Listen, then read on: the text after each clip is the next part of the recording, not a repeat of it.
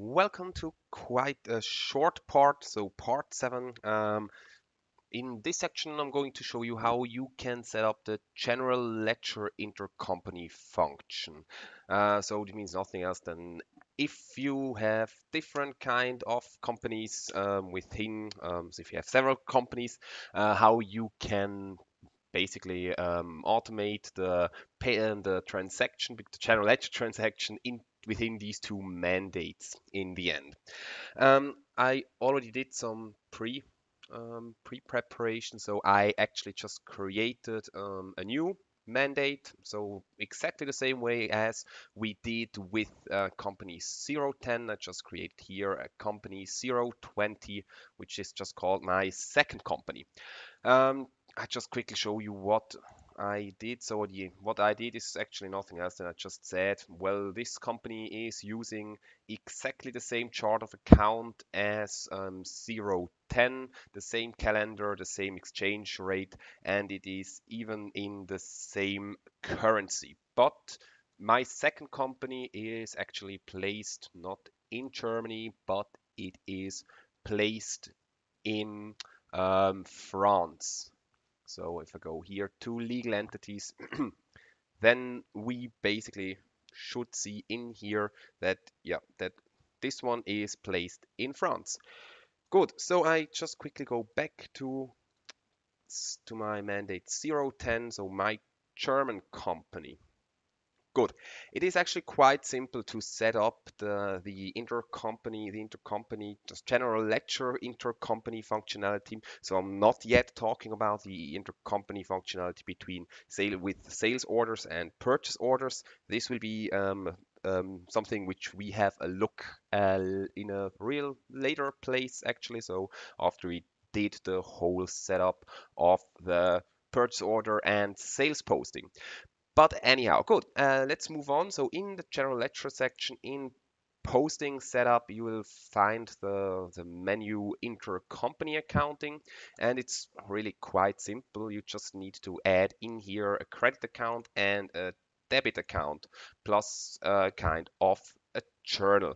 So means in the end nothing else than let's go and create at first the main accounts and the journals as well. So we go to general ledger to um, chart of account to accounts and to main account. And we just create two new main accounts. So this means nothing else than I just call it one for zero twenty. And I say IC receivables between company 010 and company 020. It is a balance sheet account and this is it already actually. Uh, we need to allow manual entries because we are going because it will be posted onto this account also manually. Plus I need to create a receivable account um, payable account. So 24020 IC payables between 010 and 020, which is of course as well a balance sheet account.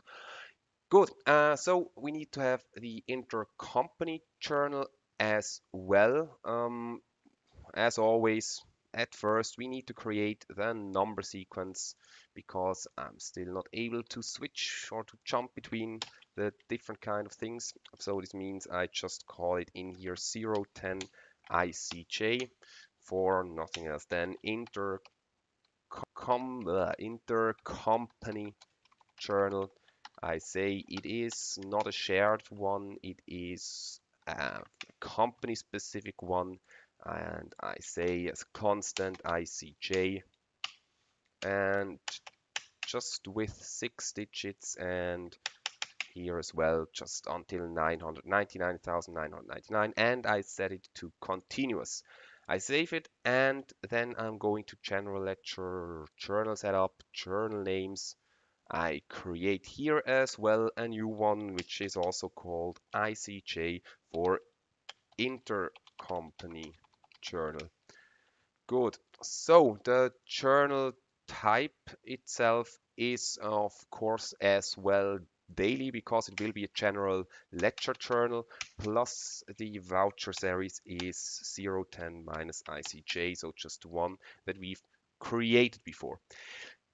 Good, so this means nothing else. We have all the information we need to mm, to add the setup. So I go again to posting setup and then to intercompany accounting and I click on new and I say here the legal entity is in this case the 020 because I'm in 010. So I set the 020 up in here. I say the credit account is the uh, 24020 and the debit is the 14020 the journal name is um, a different journal type. So I just quickly, I can't save it. So this means nothing else than I've chosen a wrong journal type. Um, this means it is not daily, but it is. Let's see which one it could be, which one it is. Elimination. Text no, no, no, no, no, no, no, no.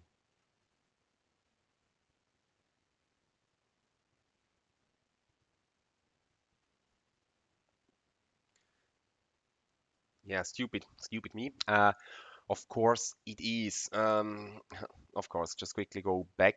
Um, daily is daily is fine actually so we can leave it with daily. Um, I just quickly go to the intercompany setup again. And of course, the thing is, um, it is not, if I choose here the legal entity 020, the journal in here is not the one from 010 where I am now, but it is actually the journals which are shown from uh, the company or legal entity 020. Uh, so I just need to add these kind of setups. So at least the journal as well in 020. So this means I just quickly change the mandate to not to this one, um, but to 020. And in here then I can go to general ledger journal setup journal names. I click on new and I say 020 ICJ and yeah I forgot the voucher series so just quickly, so intercompany journal, quickly save it. I say in here as well the number sequences which I need to create. So I go to number sequences and new number sequence.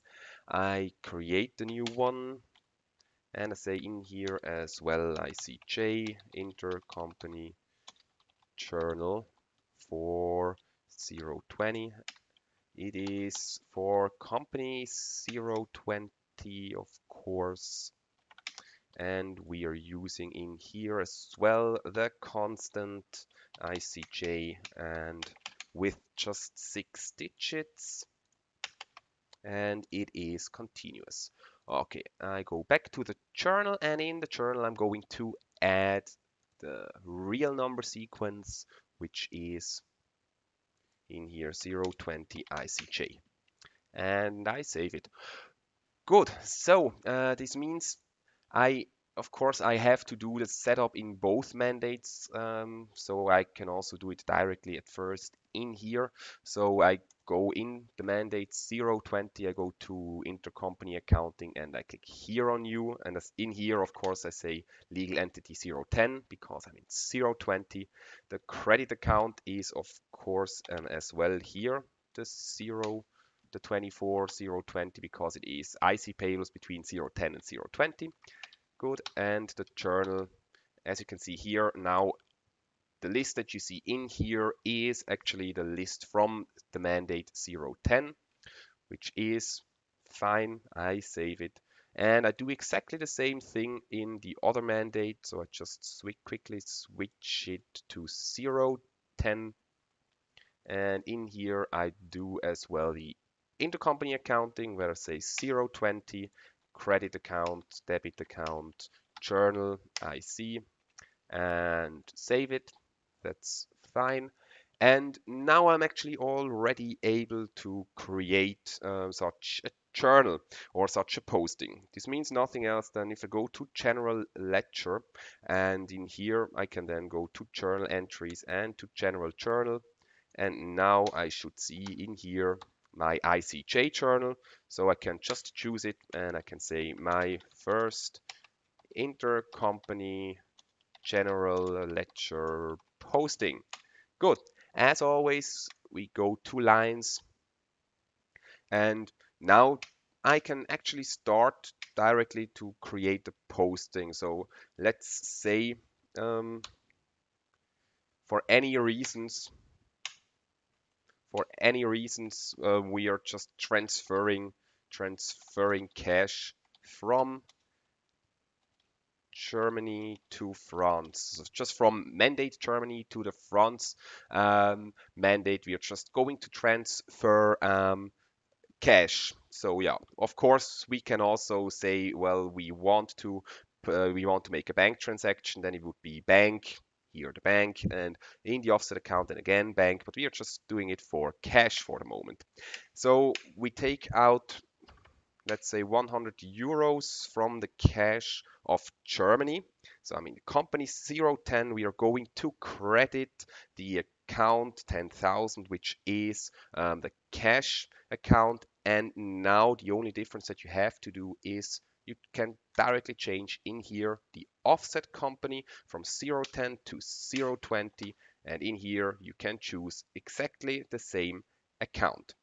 Means nothing else now than you're just then you're going to post 10,000 against 10,000, but it is in another mandate. So this means because of the intercompany accounting, we are actually not just going to post one voucher, but we are going to post two vouchers. So in each mandate, actually one. So this means nothing else. I just quickly post it and then there should the message appear that two vouchers are posted, even if we have in here just one voucher. Yep, right. So was uh, this is from a later point. So number of vouchers posted, two, which is absolutely correct. Because if I go, if I click here now on the voucher and I see that the, it, it didn't post it, of course, cash against cash, but it actually posted um, IC receivables between 010 and 020, 100, and uh, take the amount out of the bank with the posting type intercompany accounting. Of course, I do have as well this posting in my second company because it is an intercompany posting. So in here, I also have a journal available. But of course, in this journal, the posting uh, is the other way around. So he debited the cash. Just quickly click here on the voucher. Then we see a little bit better. Um, so he actually debited here the cash euro account and credited here, of course, the IC payables between 010 and 020.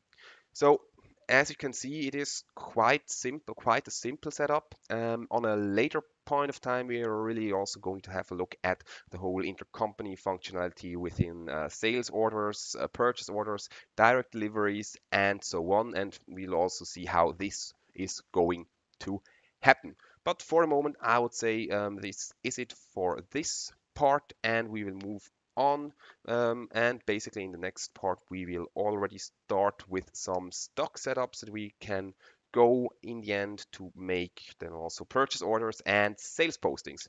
Good, perfect. So see you in part 8.